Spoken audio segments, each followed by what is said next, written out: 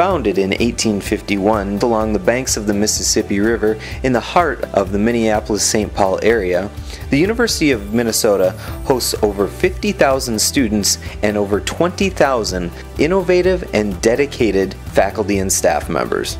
Being located in the hub of the Twin Cities allows students the ability to be close to 16 Fortune 500 companies along with over 300 startup companies. Outside of academics, there are a wide variety of entertainment options to choose from. There are Division 1 sports directly on campus, Broadway musicals and shows, professional sports teams, museums, along with a variety of music venues and a new state of the art public transportation system with hubs directly on campus.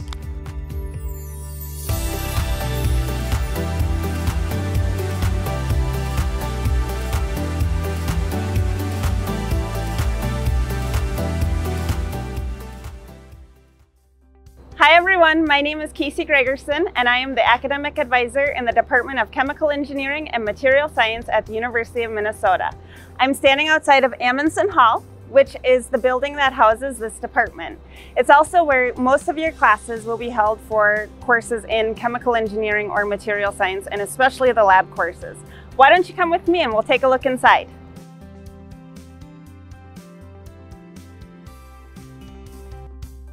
My name is Mike Mano, and I'm a teaching professor in the Department of Chemical Engineering and Material Science. Welcome to Amundson Hall, which houses both our chemical engineering and material science undergraduate programs. We're currently in our material science and engineering undergraduate teaching lab. Let's take a look around and see some of the equipment we have available for undergraduate programs. I want to briefly talk to you about what is material science and engineering, as well as our particular material science and engineering undergraduate program. Material science, which is also known as materials engineering, is an engineering discipline that tries to solve today's challenges by designing novel new materials and the processes to synthesize these materials. Thus, materials engineers explore and create the materials for new electronic circuits, steels, ceramic coatings, solar cells, biodegradable polymers, and much, much more. The materials in the screen that you're currently watching this video, for example, probably have been designed by a materials engineer. There are many similarities to the chemical engineering discipline, and often materials engineers and chemical engineers collaborate with one another. I often tell my family and friends that a simple but not always accurate way to distinguish these two disciplines is that chemical engineers focus more often with liquids and gases, while materials engineers focus more often with solid materials. Thus, if you're interested in how solid materials are synthesized, processed, assessed, and fail, materials science and engineering may be the discipline for you. Our four year materials science and engineering undergraduate program is designed to prepare you for a possible future career as a materials engineer. Amundson Hall, which is where we're located, is equipped with modern classrooms, a thriving student lounge, and both novel and state of the art research and teaching facilities. Students take dedicated courses on the different material classes, which include metals, ceramics, polymers, and composite materials. Furthermore, students take courses on thermodynamics, kinetics, electrical and magnetic properties, and numerical methods that are tailored for the materials engineering discipline.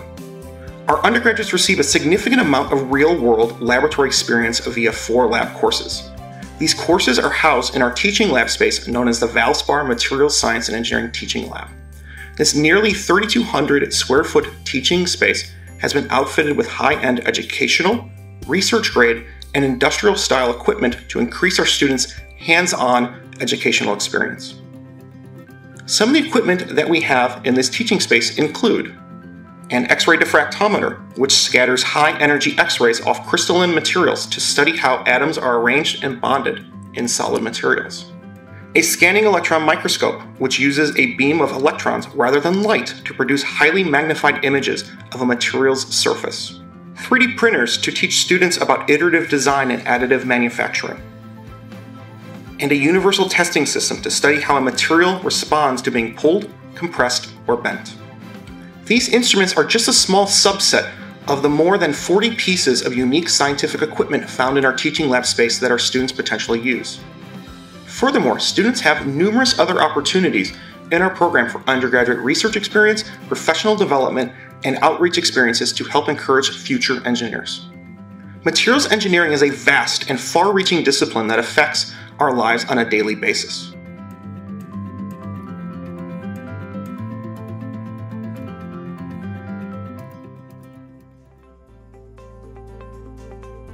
Hi, I'm Kim Costo. I'm a teaching professor here in the Department of Chemical Engineering and Materials Science at the University of Minnesota. I'd like to show you one of my favorite places. Right here in Amundson Hall, we have our Unit Operations Lab, where juniors and seniors will take their book learning and take it hands-on in our very own pilot scale experiments. Come on in and I'll show you around. As we tour through the lab, you'll see a number of different unit operations. They're shown here in pilot scale, which is small enough that we don't waste time or materials, but big enough that we can run the experiments and get the information we need to actually scale up to that full-scale manufacturing process. And these unit operations and others will be used in the fields and industries that you might work in as a chemical engineer.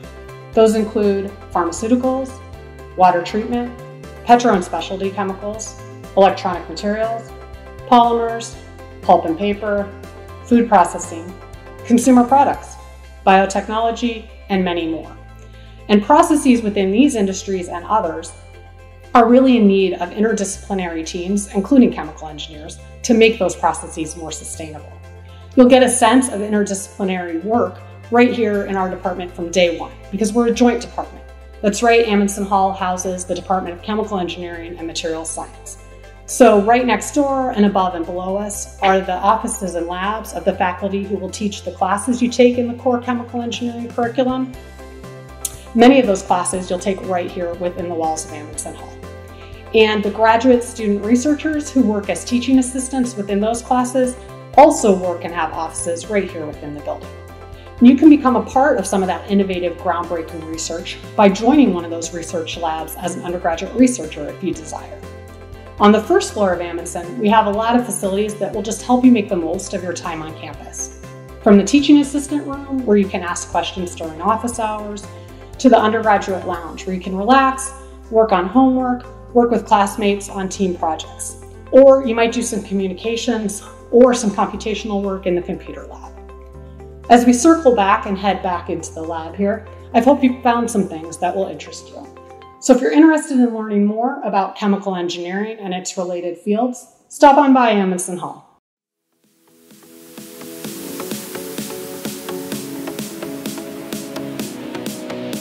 Some other people who have walked these halls include Arthur Fry, co-inventor of the Post-it note, John Mendesh, creator of Cinnamon Toast Crunch, Phil Zietlow invented gluten-free Cheerios and also worked on Honey Nut Cheerios, Nabir Sarma, Minnesota's own Jeopardy 2020 College Championship winner.